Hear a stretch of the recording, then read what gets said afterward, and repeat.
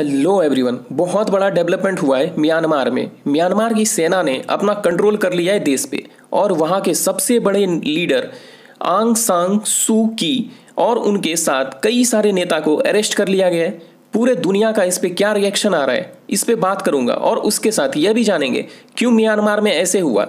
और उसके साथ इंडिया पे इसका क्या इम्पैक्ट होगा, आप वीडियो को अंत तक देखें और चैनल को सब्सक्राइब कर दें। देखो, कई सारे बड़े बड़े रिपोर्ट में यह बताया गया है कि इस पेंडेमिक के दौरान डेमोक्रेसी कमज़ोर हुई है और कई सारे देश में कोरोना के आड़ में डेमोक्रेसी को कुचलने की कोशिश की गई। चाहे वो अमेरिका हो, रशिया हो, नेपाल हो लैटिन अमेरिकन कंट्री हो आसियान कंट्री हो या फिर भारत भी। और ये कहीं से भी अच्छा नहीं है दुनिया के शांति के लिए। कई सारे नेता को अरेस्ट के बाद वहाँ के मिलिट्री टीवी ने कंफर्म किया कि देश में एक साल के लिए इमरजेंसी घोषित कर दिया है। देखो, वहाँ के सेना और सिविलियन गवर्नमेंट के बीच तनाव शुरू से था। उसका वजह यह है कि 2011 तक म्यांमार में मिलिट्री रूल ही था। उसके बाद ही वहाँ डेमोक्रेटिक रिफॉर्म चालू हुआ। पहले म्यांमार को बर्मा के नाम से जाना जाता था। सोमवार के सुबह सेना ने कहा कि वह कमांडर इन चीफ मींग आंग को देश की सत्ता सौंप रहा है और सेना जितने मेन मेन शहर हैं, वहाँ के सड़कों पर खड़ी है आके। हाल में ही नवंबर में वहाँ चुनाव हुआ था। जिसमें वहाँ की party NLD National League for Democracy ने 83 परसेंट सीटों पर जीत हासिल किया था। यह 2011 में सैन्य शासन की समाप्ति के बाद दूसरा चुनाव था।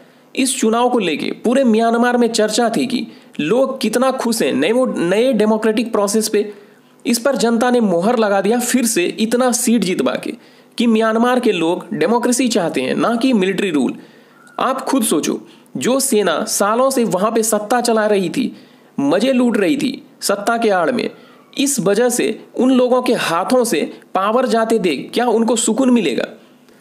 हुआ यही, सेना ने कहा कि चुनाव में धांधली हुआ है और इसको लेके वह सुप्रीम कोर्ट में शिकायत दर्ज कराया, लेकिन चुनाव आयोग ने सेना के आरोपों को खारिज किया। जब सेना के पास कोई रास्ता ना दिखा तो वो धमकी देने लगा कि चुनाव में जो धोखाधड़ी हुआ है, उसको लेके हम कार्रवाई करेंगे। तब से यह आशंका बढ़ गया था कि म्यांमार में तख्ता पलट हो सकता है। ऑब्वियसली अगर डेमोक्रेसी को इस तरह से कुचला जाएगा तो दुनिया के बड़े डेमोक्रेटिक देश इस पर बोलेंगे ही। अमेरिका ने इस घटना पे विरोध जारी किया और कहा, वह कोई ऐसे कदम का विरोध करता है जो म्यांमार की डेमोक्रेसी को कमज़ोर करने की कोशिश करेगा। अमेरिकी विदेश मंत्री एंटनी ब्लिंकन ने सभी सरकारी अधिकारियों और सिविल सोसाइटी लीडर्स को तुरंत रिहा करने को कहा और कहा, अमेरिका लोकतंत्र, स्वतंत्रता, शांति और विकास के लिए म्यांमार के लोगों के साथ खड़ा है। वहीं ऑस्ट्रेलिया के फॉरेन मिनिस्टर ने सभी नेताओं को रिलीज़ करने को कहा और कहा, चर्चा के ज़रिए डिस्प्यूट्स को सुलझाए, ना कि मिलिट्री रूल लगा के. वहीं ह्यूमन राइट्स वॉच के जॉन सिफ्टॉन ने कहा कि रियलिटी यही है कि भले ही कुछ सालों से म्यांमार में डेमोक्रेटिक गवर्नमेंट थी, लेकिन सेना ने कभी उसे अपने से ऊपर नहीं उठने दिया। उन्होंने कहा, वो बहुत ही ज़्यादा दुखी है, क्योंकि एक ऐसा देश जहाँ लाखों लोग भूखे सोने को मजबूर है, आज वह देश हथियारों की बेड़ी में जकड़ा हुआ तड़प रहा है ग्राउंड पे सिचुएशन के बारे में अगर आपको बताऊँ तो वहाँ मेजर सिटी में इंटरनेट और कुछ जगह फ़ोन सर्विस बंद कर दिया गया है। इसको लेके वहाँ के स्टेट ब्रॉडकास्टर एम ने कहा कि कुछ टेक्निकल इश्यू की वजह से ऐसा हुआ है। वहीं शहरों से दूर लोग नॉर्मली तरीके से सुबह का शुरुआत किए लोग इस पे बात तो कर रहे हैं, लेकिन पैनिक नहीं है इतना भी। अब म्यांमार के सबसे बड़े लीडर आंग सांग शू की के बारे में जान लेते हैं, जिन्होंने सालों के स्ट्रगल से वहाँ डेमोक्रेसी लाया। वह म्यांमार के इंडिपेंडेंस के हीरो जनरल आंग की बेटी है। 1948 में ब्रिटिश शासन से स्वतंत्रता प्राप्त करने से ठीक पहले, जब वो दो साल की थी तो उनके पिता का हत्या कर दिया गया था। 1991 में उन्हें नोबेल पीस प्राइज दिया गया था। उस समय भी वो हाउस अरेस्ट में थी।